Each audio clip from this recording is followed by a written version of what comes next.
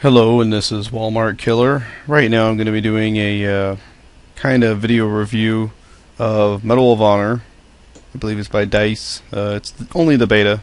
I just got in on it, and uh, well, I, I got to tell you about a few things about it first. Excuse me. Sorry. Anyways, um, number one thing about it is uh, I, I know I'm not very good at the game or any first person shooter game, but I'm good enough at, you know, Modern Warfare 2 and Battlefield Bad Company 2, which this game is going to get compared to immensely, um, to not get killed almost immediately from the gate almost every single time. Um, or, you know, just, just as quick as I was getting killed. It just seemed ridiculous. So that right there was like, what the crack? Alright, and then there's no squads, like in Battlefield. Um, there's no squads at all. They're trying to make this more like Modern Warfare, where there's no squads at all. You just kind of jump in and do your thing, whatever. I kind of liked the squads in uh, Battlefield Bad Company 2. Therefore, it wasn't as easy to just spawn up and be at the front of the line. This one, you just pick deploy at the front of the line, and you're right there immediately. You don't get any preview. You can't choose where you're going to go in, so you don't know how hot the zone is that you're going to be spawning into. So you get killed a lot from the start. And that's a drag. Um, there are only three classes to choose from, at least in the beta. There might be more, I'm hoping. Um, there's Rifleman.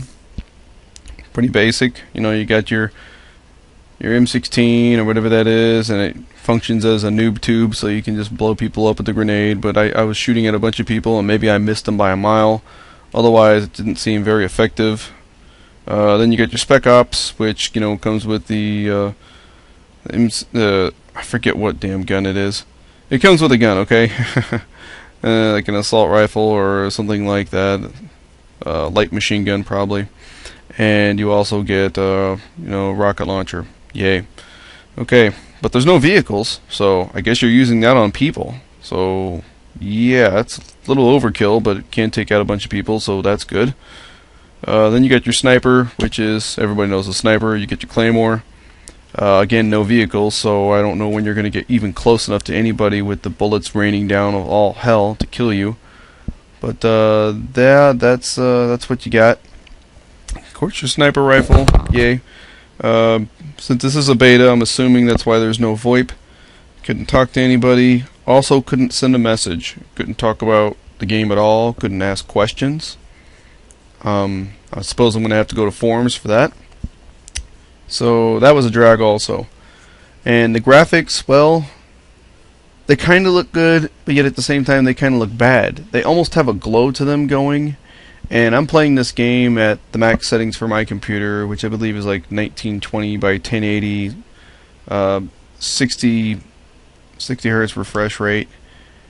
And um, you know I'm rocking I'll, I'll, put all my specs down below but um, you can see all that and you can see that my computer is it's it's decent. I wouldn't say it's super high tech anymore. It was great whenever I first built it but it was a while ago and I need to build a new one again in another year or so.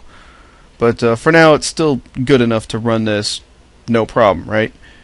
And uh, the reason why this uh, screen is minimized on YouTube when I put it on here is because I'm recording this at half size so that I can still get decent FPS.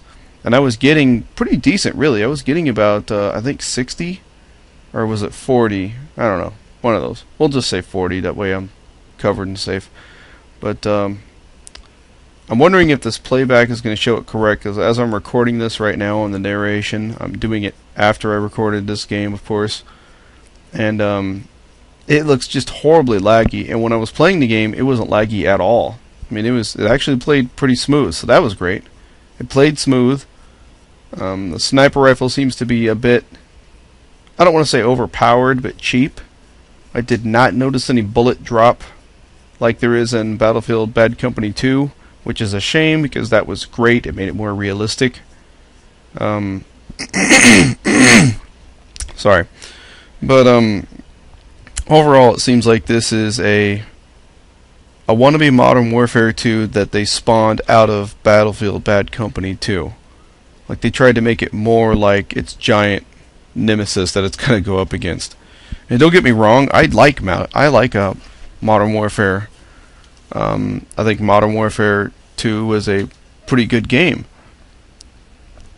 Um, you know, I, I still play it to this day. I'm not very high ranked, and yes, I get killed a lot, but I do have a lot of fun. And that's to me all that really matters is, you know, are you getting your money's worth out of it, or are you just getting frustrated and pissed every time you play? And so far out of this, um, I'm uninstalling this stuff off my computer after I do this review, just so I can go back to playing Modern or not well, Modern Warfare and Battlefield Bad Company 2. Probably Battlefield more because I I really like that game a lot more. There's seems to me like there's a bit more fun edge to it. Plus, I like being able to blow up almost anything. But uh, that's my take. Um, you're welcome to hate me and type all kinds of bad stuff down below if you want. Otherwise, please leave any other comments you know, down below and let me know what you think. This is just the first day, and I might keep it on my computer for another day and maybe play a little bit tomorrow. But uh, let me know what you think. And uh, I hope you enjoyed this, and I'm just going to let you watch the rest of this as it plays out. Peace.